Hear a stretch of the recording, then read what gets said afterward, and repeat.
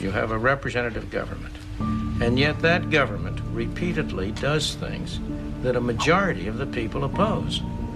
You go around in the United States, for example, where I know the situation best, and you will find that a majority of the people in the United States think government is spending too much, imposing taxes that are too high, and would like to see government cut back. At the same time, the representatives of the people, through the parliament, follow policies which lead to those results that the majority deplore. The reason for that, I believe, is that we have a defect in our governmental institution. What we have is a situation in which special interest minorities are able to exercise undue influence.